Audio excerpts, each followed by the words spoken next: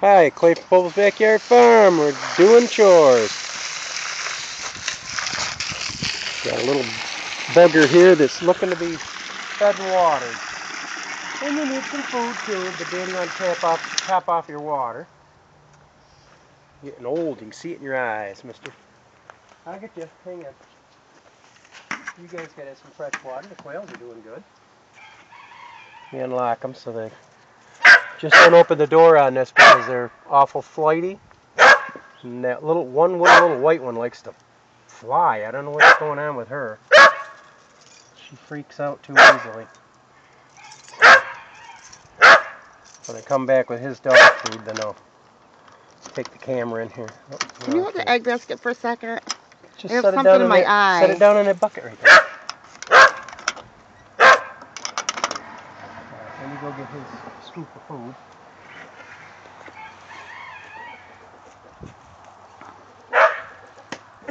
All right, Storm, hang in.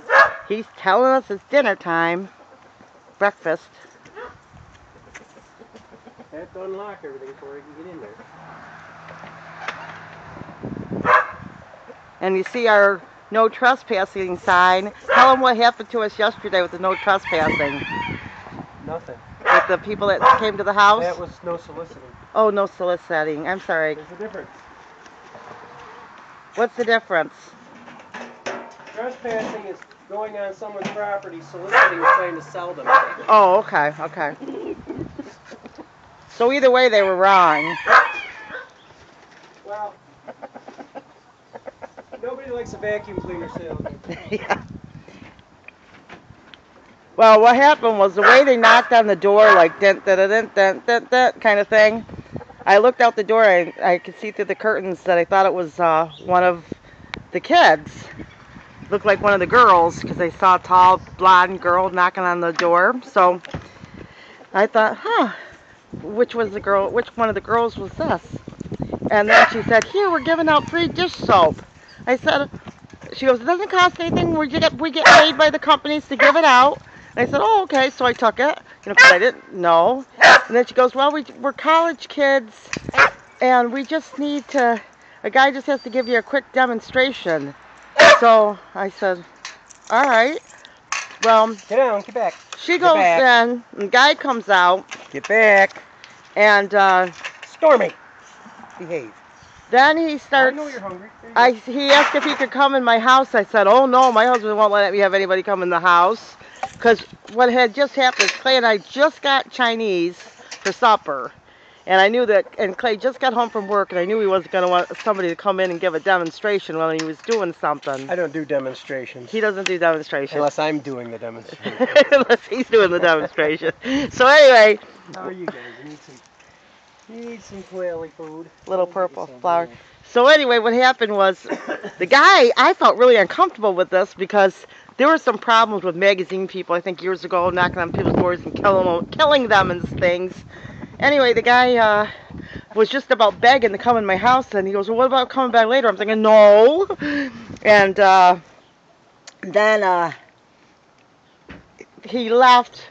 He kind of looked out of my hand like, I wish you would give me the dish soap back. And I didn't really even think that fast. And he left. I went in the house with the dish soap. But the thing is, is um, what was weird is we had the no trespassing sign, no soliciting. It's because where we live, tons of people will stop by. They ask for directions. They ask for things. And you just have to be safe. And, I mean, even up, up here in rural America, it's rural, but it's not because we're off a main highway. So everyone has to be super, super sa- safe. And uh, there were some robberies at the restaurant around here and stuff. So we just like to be safe. So anyway, that made me a little bit uncomfortable. But as it boils down, he really was the curvy. They were the curvy salespeople. It sounded like they were trying to trick us or something, saying they were college kids doing it No, for an assignment. college kids They told me that. They usually have college kids selling it. No, no, but he said he was like a college kid, and the way he said it, I he acted like they were doing it for. He said he's. I go, well, what are you going to college for? He said like business. Sounded like he was doing it for school, but then I kind of figured out he was doing it to, to for a job, and figured, well, get discouraged soon, because this day and age, people don't like you coming in their houses. How are you guys doing, huh? Doing good? Alright, let me give you some fresh water. Oh, there's another quail egg. I used to wonder why the people out in the country would act like that, have all these no trespassing signs and and things like that. Because I was so well, now I understand that they're living out here. You don't invite people onto your property unless you want them to pop in in the middle of the night or when you're not home. Right. Well, That's uh, usually what happens out here in the country. yeah. It, Scope the places out. I used to think, It's a little different because you got too many neighbors to see what's going on. and in honestly, the country, you don't always have close neighbors that watch what's going on. that is true. And and that is, I mean, just I'm just saying from my They're pers- probably facing away from me, and I, probably didn't hear a thing I said. No. Oh, I'm sorry. Say it again. I said, in the city, you've got a lot of close neighbors and people watching what everybody else is doing. In the country, there's not many houses around, so it's a lot easier for people to scope out a place to, to rob. So That that is true. And what was funny about that is I used to always think that, ooh, that seemed kind of yucky and and dumb to have no trespassing signs and no soliciting. I think I'd never do that. And this is, I'm just saying how I used to feel. And, and, and I think it's because of what Clay said. I lived in developments and if, Yeah, too many people close by can see what's going on. right, and, and but out here, even though we do live in an area where my, like my neighbors would tell me if they saw something, I'd tell my neighbors, Yeah, but they might wait until after you're already done robbing you. Well, but it's a dis- it's a different kind of a climate because people just I don't know how to explain it, but everybody out here has no trespassing, no soliciting, and all that. And I think it's because people just come out and it's just the way that they act and the it's maybe the people that come and solicit is part of the issue too. You know what I mean? It's not like a group group of Boy Scouts collecting cans. Did you It's, even get a picture of these guys? I wanted to. Well, anyway, it's not like a group of guys coming out collecting cans. It's How is everybody doing out here? strange people sometimes. Don't you think so, honey? Yeah, you gotta.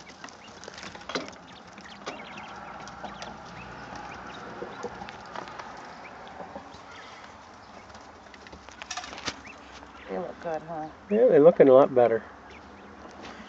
Warmer weather coming. You guys are going to your summer home in about a week or so. Then you'll tame right down.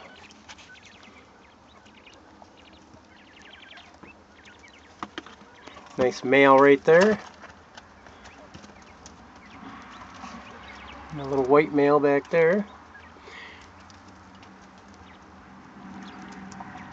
Look The eggs we got over in there. the- She's all puffed up. Yeah. She looks like she's mad. The white No, one. They're, they're not mad, dear. Well, not. No, you know what I mean. Like. Oh, She may No. just caught a chill, but she's I thought fine. maybe she was like a broody. No, she's not broody. They're they don't get that way. Quail aren't really a broody bird. Yeah, somebody asked that. Oh, there. That was a male. That was that male in the corner. The eggs we got in the incubator, I can't tell if we're going to give them fertile or not because it's early in the spring and now that the male is calling, it's going to put the hens in laying condition. And uh, so the ones in the, the house, if they don't hatch, we'll start a new set. All right, you guys doing? You guys need some fresh water and a little bit of ice on them too today because it's only 30 degrees. This one of new peas. Yeah, that's what go in the barn. My hands are actually starting to get cold now. Yeah, mine are too, but I had water on them too. Oh, did they? Okay. But still gotta do chores. Yeah.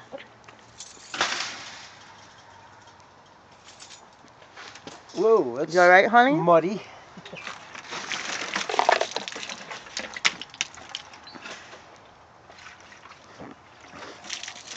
There. That'll fill up with water. Let me get rid of this. Oh, I need to mention this. It's Trump is in New York right now. That's a good thing to leave on, you know, for to look back. So people are Oh, talking. they're all in New York right now. Yeah, all Hillary, Hillary, Bernie, Bernie Sanders. and John Kasich are all Ted gonna be in New York Cruz. in the next two weeks. They're So- all- what they're doing is drumming up votes for their uh, for their party.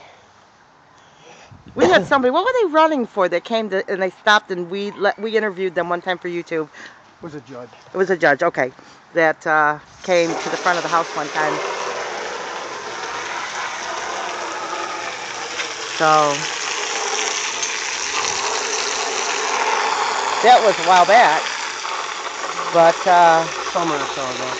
I guess, but it's gonna be crazy. I guess they that um, She was running it. She was a judge already, but she was running again. she's running to do it again. Yeah. And she wanted to know if she could put one of her posters in our yard. Mm-hmm.